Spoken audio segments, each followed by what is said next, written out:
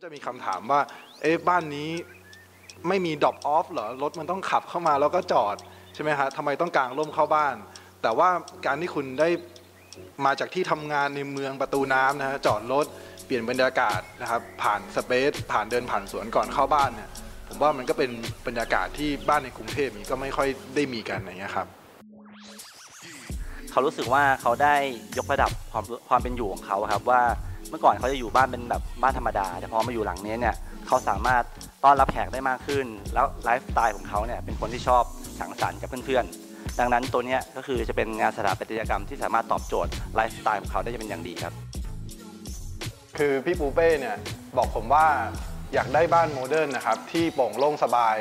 แต่นอกเหนือจากนั้นในเรื่องของภาษาทางสถาปัตยกรรมแล้วเนี่ยครับก็คือให้อิสระกับเราเต็มที่เลย ซึ่งในตอนนั้นเนี่ยเราทั้งคู่มีความสนใจกับภาษาทางสถาปัตยกรรมแบบหนึ่งนะครับ ซึ่งใน 5-10 ปีมาเนี้ยเราก็จะพบได้บ่อย ก็คือที่มีการเทปเทปของตัวรูปด้านนะครับที่มันปาดเฉียง ผมก็เลยรู้สึกว่าไอ้ตัวเนี้ยมันทำให้ฟอร์มน่าตื่นเต้น แต่นอกเหนือจากความน่าตื่นเต้นในรูปด้านแล้วเนี่ยภายในของมันหรือว่าการก่อฟอร์มของมันเนี่ยน่าจะเกิดประโยชน์อย่างอื่นได้หรือเปล่า เราก็เลยคลี่คลายตัวฟอร์มเนี่ยครับออกมาในรูปแบบของ planning structure นะครับทำให้ทั้งรูปแปลนรูปด้านทั้งหมดนะครับทั้งภายในภายนอกมันสอดคล้องกันหมดนะครับ แต่นอกจากจะได้แค่ภาษาบรรลุเรื่องเรื่องฟอร์มต่างๆ แล้วเนี่ยฟังก์ชันก็ต้องสามารถตอบโจทย์ได้ครับเมื่อ structure ที่เป็นเหล็กนะครับมันแสดงถึงรูปทรงนั้นแล้วนะครับอย่างอื่นเนี่ยผมว่าเราเราจะง่ายแล้ว อย่างรูปทรงของฝ้าก็เป็น slope เดียวกัน การกั้นผนังกระจกมันก็เป็นทิศทางของมันเดียวกันนะฮะในส่วนของการตกแต่งภายในเนี่ยเราก็เอามาใช้กับ element บางส่วนที่มันใช้ได้นะครับหรืออย่างเช่นนะอย่างอย่างเคาน์เตอร์ตัวนี้ มันก็เหมือนกับสเกลของที่จอดรถเอามาย่อส่วน1ต่อ3นะครับพอเอามาตั้งไว้ในห้องด้วยด้วยด้วยสเกลของมันเนี่ยพอเทียบลานจอดรถมันดูเหมือนว่ามีมีของกล่องๆแบบเนี้ยเรียงกัน 3 อัน ก็ในส่วนของสีดำเนี่ยที่มาก็มาจากว่า พี่ปูเป้กับพี่ชายเนี่ยครับจะชอบแต่งตัวเป็นโทนขาวเทาดำมา ซึ่งเราก็มีความสนใจว่าเออไอสีแบบนี้มันดู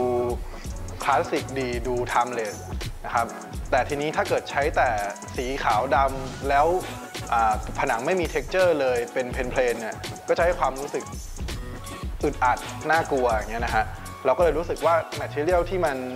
touch กับมนุษย์เนี่ยมันมันก็คือพวกหินหรือว่าไม้ มันก็จะมี texture แล้วก็มี grain ที่แตกต่างกันนะครับ พอมันมีอะไรแบบนี้เข้ามาคนอยู่ก็จะรู้สึกว่ามันมัน cozy ขึ้น อย่างอย่างพอพูดถึงบ้านเนี่ยครับคนก็จะนึกถึงว่าเป็นที่อยู่อาศัยตอบสนองในเรื่องของฟังก์ชันนะครับ แต่จริงๆ นอกนอกเหนือตอบสนองเรื่องนั้นแล้ว ผมว่ามันต้องตอบสนองในเชิงอารมณ์ด้วยฮะบางอย่างเช่นว่าผมยกตัวอย่างเช่นสระว่ายน้ำอย่างเงี้ยครับคุณปูเป้เนี่ยจริง ๆ แล้วไม่ว่ายน้ำไม่เก่งนะฮะแต่ว่าการที่มีสระว่ายน้ำมันทำให้บรรยากาศของบ้านนะครับ เป็นอีกอีกความรู้สึกหนึ่งเป็นความรู้สึกเหมือนเอารีสอร์ทเอาธรรมชาติเข้ามาในบ้านนะครับ อย่างอันหนึงที่เราคาดไม่ถึงเลยก็คืองานทำบุญบ้านครับเพราะว่าปกติเราก็คิดว่ามีงานเช้าเลี้ยงพระ 40-50นะครับแต่ว่าอันเนี้ยพี่เขาเชิญแขกมาถึง 4-500 คน แล้วก็จ้างนักร้องมามีดนตรีนะครับเหมือนกับเป็นงานร้านอาหารหรือผับเลยอย่างเงี้ยครับซึ่งมันก็สามารถใช้ใช้ฟังก์ชันที่เรา อาจจะไม่ได้คิดไว้ถึงขนาดนั้น แต่มัน beyond ไปขนาดนั้น เมื่อเมื่อมนุษย์มามา fit in กับสถาปัตยกรรมอะครับเขามีวิธีใช้ในในมุมมองของเขาไออาคารเรือนรับรองระเบียงเนี่ยมันก็กลายเป็นเวทีนะครับไอสระว่ายน้ำก็เป็น pool partyไอเนินหญ้าสลบของเราครับก็เป็นที่ตั้งของโต๊ะค็อกเทลแล้วก็ระเบียงชั้น2เนี่ยกลายเป็นที่นั่งเหมือนกับว่าฟอนโลแถวหน้าจากชั้น 2 VIP อย่างเงี้ยครับซึ่งผมว่าเนี้ยมันมันบียอนไปกว่าที่ที่เราคาดคิดไว้